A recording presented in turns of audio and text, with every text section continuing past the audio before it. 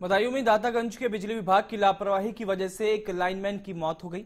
मृतक 30 साल का ओमेंद्र सिंह है, जो विद्युत उपकेंद्र पर संविदा लाइनमैन के पद पर तैनात था। वो बेलाडांडी रोड स्थित खंबे पर बिजली की तारों को सही करने के लिए चढ़ा था और इसी दौरान बिजली की सप्लाई छोड़ दी गई और जिसकी चपेट में आकर उसकी मौत हो गई।